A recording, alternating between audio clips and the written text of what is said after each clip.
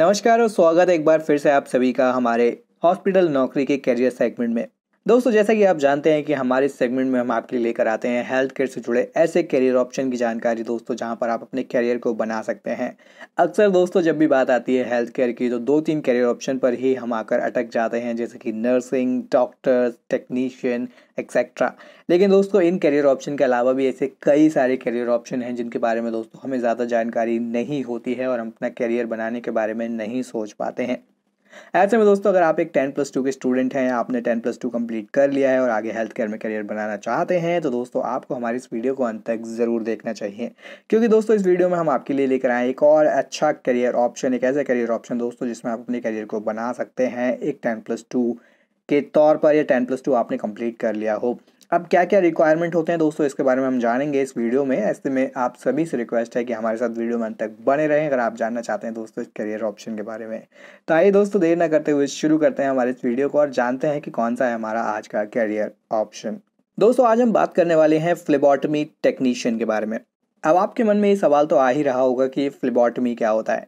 तो दोस्तों phlebotomy technician एक हेल्थ केयर वर्कर होते हैं जो कि ख्याल रखते हैं ब्लड कलेक्शन का या फिर दोस्तों इनका जो काम होता है वो ब्लड कलेक्शन का काम होता है। तो बेसिकली दोस्तों जो फ्लेबॉटमिस्ट होते हैं वो ब्लड को निकालने का काम करते हैं फॉर डायग्नोस्टिक पर्पसेस और साथ ही साथ दोस्तों जो भी मेडिकल लेबोरेटरी टेक्नोलॉजिस्ट होते हैं या जो डॉक्टर होते हैं, जो नर्सेज होते हैं दोस्तों, उनकी हेल्प करते हैं ये हेल्थ केयर सेटिंग्स में। अब सवाल उठता है कि दोस्तों ये क्या करते हैं? तो अगेन दोस्तों जो फ्लेबॉटमिस्ट होते हैं, उनका काम होता है ब्लड सैंपल्स को कलेक्ट करना। यानी कि दोस्तों जो भी पेशेंट होते हैं, जिनके भी दोस्तों ब्लड को निकालना होता है, चाहे वो नसों से निकालना हो या दोस्तों उनके फिंगर टिप से निकालना हो तो उसको निकालने का ये काम करते हैं।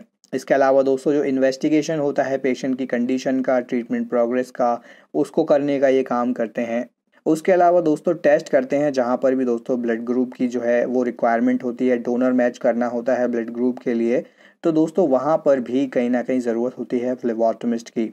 अब आगे दोस्तों अगर हम बात करें क्या रिस्पॉन्सिबिलिटीज़ होती हैं एक फ्लेबॉटमिस्ट के तौर पर आपकी तो दोस्तों यहाँ पर आपको पेशेंट इंटरव्यूज़ को करना होता है और चेक करना होता है पेशेंट के वाइटल साइंस को, यानी कि दोस्तों पेशेंट के क्या वाइटल साइंस हैं ब्लड ग्रुप क्या है ब्लड किस तरीके का है दोस्तों ब्लड के रिगार्डिंग या स्पेसिमिन के रिगार्डिंग जो भी दोस्तों ज़रूरी इन्फॉर्मेशन है वो चेक की जाती है।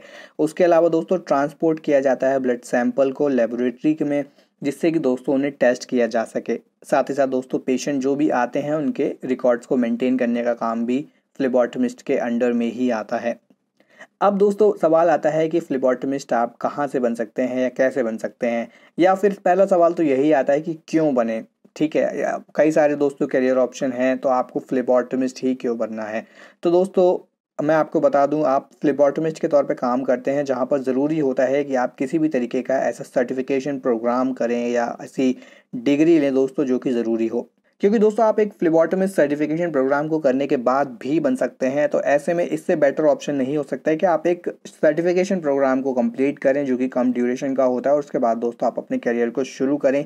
राधा देन दोस्तों आप तीन से चार साल की एक डिग्री को परस्यू करें, जिसके बाद दोस्तों आपकी जॉब की शुरुआत होती है। तो दोस्तों अगर आप एक सर्टिफिकेशन प्रोग्राम को लेते हैं, उसके बाद दोस्तों आप फ्लिबॉटमिस्ट के तौर पे काम करते हैं तो दोस्तों ईजी आपको हो जाता है, बहुत ज़्यादा वैल्यूबल आपके लिए हो जाता है एक मेडिकल टीम का हिस्सा बनना।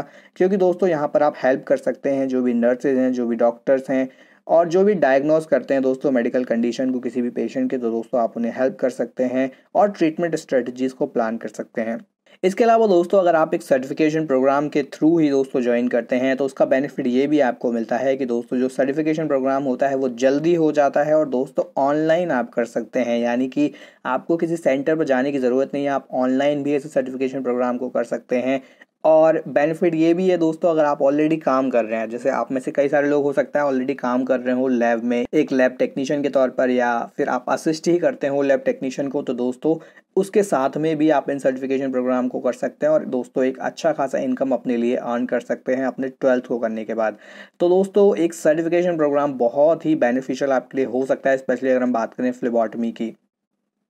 अब सवाल उठता है कि दोस्तों, कहाँ से करें सर्टिफिकेशन प्रोग्राम तो दोस्तों, जो सर्टिफिकेशन प्रोग्राम होते हैं, कई सारे ऑर्गेनाइजेशन दोस्तों सर्टिफिकेशन प्रोग्राम कराती हैं, लेकिन दोस्तों, हम आपको बताना चाहेंगे कैसे सर्टिफिकेशन प्रोग्राम के बारे में दोस्तों, जो कि सर्टिफाइड है एनएसडीसी से और जो फोकस करता है कि किस तरीके से दोस्तों आप अपने स्किल्स को जो है वो इम्प्रूव कर सकें।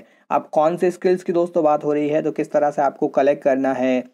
स्टोर करना है और ट्रांसपोर्ट करना है ब्लड स्पेसिमेन को, ठीक है? तो ब्लड को कैसे कलेक्ट आपको करना है, स्टोर कहाँ पे करना है, किस तरीके से करना है ब्लड को ट्रांसपोर्ट करने के तरीके क्या होते हैं?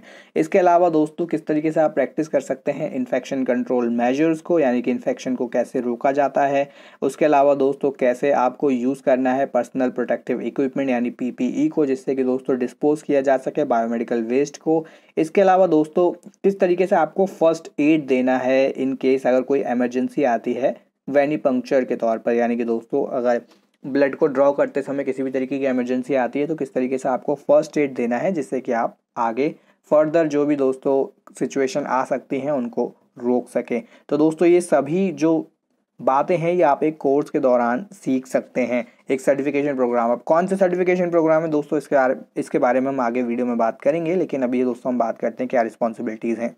और क्या क्या सीख सकते हैं दोस्तों आप इस सर्टिफिकेशन प्रोग्राम में? तो किस तरीके से आपको अपने स्किल्स को दोस्तों एनहेंस करना है और जो भी फ्लिबॉटमी टेक्नीशियन के तौर पर जो ज़रूरतें होती हैं, उसको कैसे आपको अडॉप्ट करना है? लीडरशिप कैपेबिलिटीज़ दोस्तों आप सीख सकते हैं, किस तरीके से आपको सर्वाइव करना है और लीड करना है क्लिनिकल लेबोरेटरी टीम को, क्योंकि जैसे जैसे आप काम करेंगे, आपका एक्सपीरियंस बढ़ेगा और एक समय के बाद दोस्तों कहीं ना कहीं आप लीडर के तौर पर भी सामने आ सकते हैं। इसके अलावा साउंड टेक्निकल नॉलेज दोस्तों आपके पास होगी स्किल्स होंगी, कैसे आपको ब्लड सैंपलिंग को हैंडल करना है और जो भी ऐसे पेशेंट है दोस्तों जिनका ऑलरेडी ब्लड निकल रहा है या ब्लीडिंग हो रही है तो उसको आपको कैसे कंट्रोल करना है। एथिक्स और प्रोटोकॉल दोस्तों आप सीख पाएँगे इफेक्टिवली दोस्तों कोलैबोरेट कर पाएँगे और टीम को दोस्तों डील कर पाएँगे, साथ ही साथ कंट्रीब्यूट कर पाएँगे डिज़ीज़ प्रिवेंशन में क्वालिटी कैसे बढ़ानी है दोस्तों? अपने जहाँ भी आप काम कर रहे हैं हेल्थ केयर सेटिंग की या लेबोरेटरी की सेफ्टी कैसे इंश्योर करनी है और इक्वालिटी के साथ कैसे डील करना है? तो अब आगे बात करते हैं दोस्तों, क्या एलिजिबिलिटी क्राइटेरिया इस प्रोग्राम का? तो दोस्तों, जैसा कि मैंने आपको बताया टेन प्लस टू आपका होना ज़रूरी है। किसी भी स्ट्रीम से हो मिनिमम रिक्वायरमेंट दोस्तों क्या है? इंग्लिश की थोड़ी आपकी नॉलेज अच्छी होनी चाहिए, यानी कि आप चीज़ों को अच्छे से समझ पाते हो।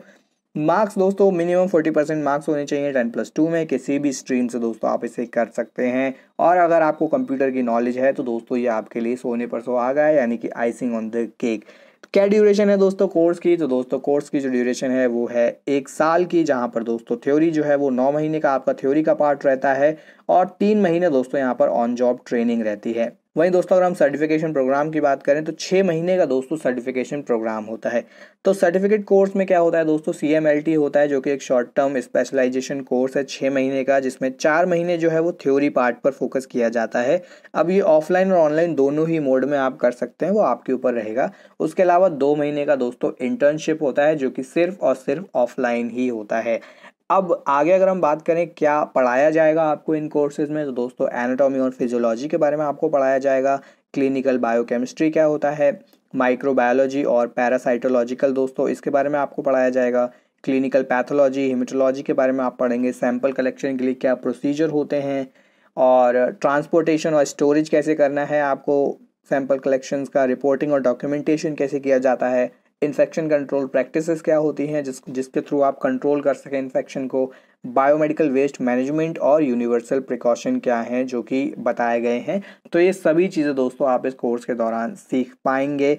अब सवाल उठता है कि दोस्तों कोर्स आप कहाँ से कर सकते हैं? तो दोस्तों मैं आपको बता दूँ, जो आप कोर्स हैं उन्हें ज्वाइन कर सकते हैं एक फ्लिबॉटमी टेक्नीशियन के तौर पर national skill development program center से दोस्तों आप इसे ज्वाइन कर सकते हैं। इसके अलावा आप ज्वाइन कर सकते हैं at W W W dot health care S S C dot in दोस्तों, ये वेबसाइट है। इस वेबसाइट पर जाकर दोस्तों आप इसे ऑनलाइन ज्वाइन कर सकते हैं। ऑफलाइन ज्वाइन करना चाहते हैं तो दोस्तों national skill development program center से दोस्तों आप इन कोर्सेज को ज्वाइन कर सकते हैं। फ्लिबॉटमिस्ट टेक्नीशियन के तौर पर नेशनल स्किल डेवलपमेंट प्रोग्राम जो है दोस्तों आपको हर जगह मिल जाते हैं। इसके सेंटर किसी भी सिटी में आपको दोस्तों इसके सेंटर मिल जाएँगे।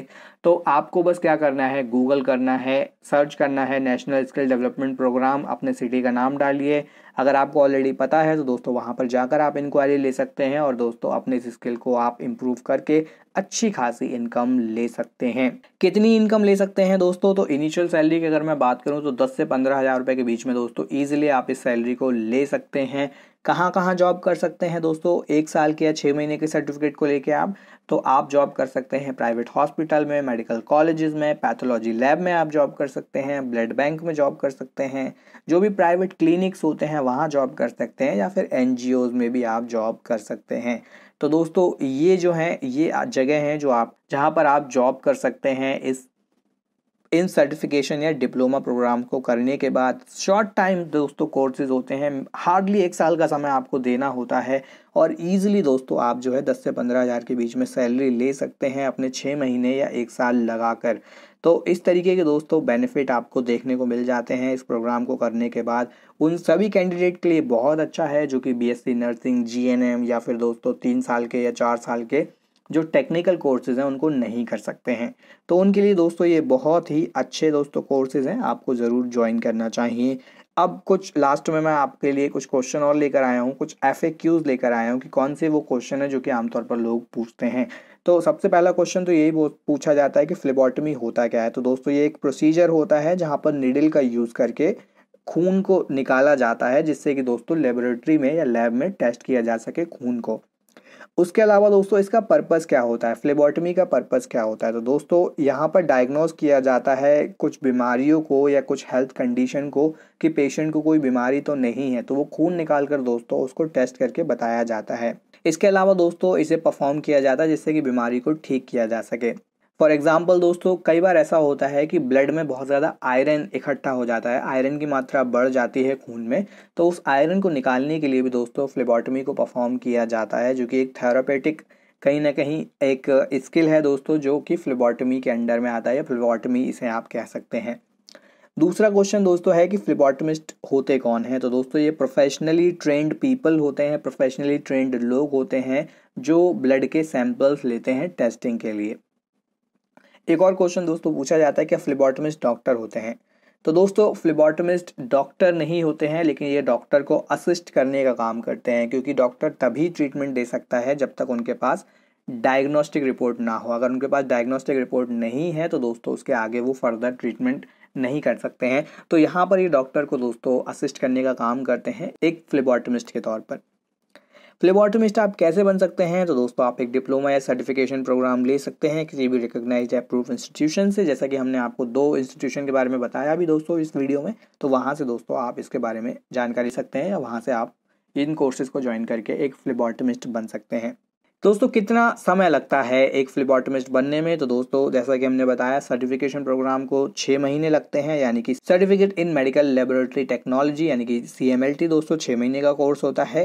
वहीं दोस्तों अगला जो डिप्लोमा कोर्स होता है, वो होता है डीएमएलटी ठीक है तो डीएमएलटी दोस्तों एक साल का कोर्स होता है, वो आप कर सकते हैं किसी भी रिकोगनाइज इंस्टीट्यूशन से या फिर आप यहाँ पर national skill development program center से आप इसे ज्वाइन कर सकते हैं।